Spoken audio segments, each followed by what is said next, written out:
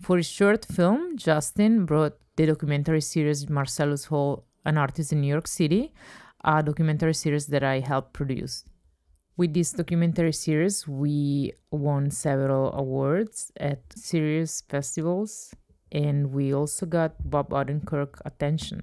This is a documentary that I worked on for about five years, interviewed my relative, and it's just me and him sitting in a living room and chatting.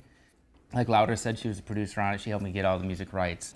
There's 650 plus illustrations used in here. They're all shown chronologically. The music that you hear is also heard chronologically throughout his life.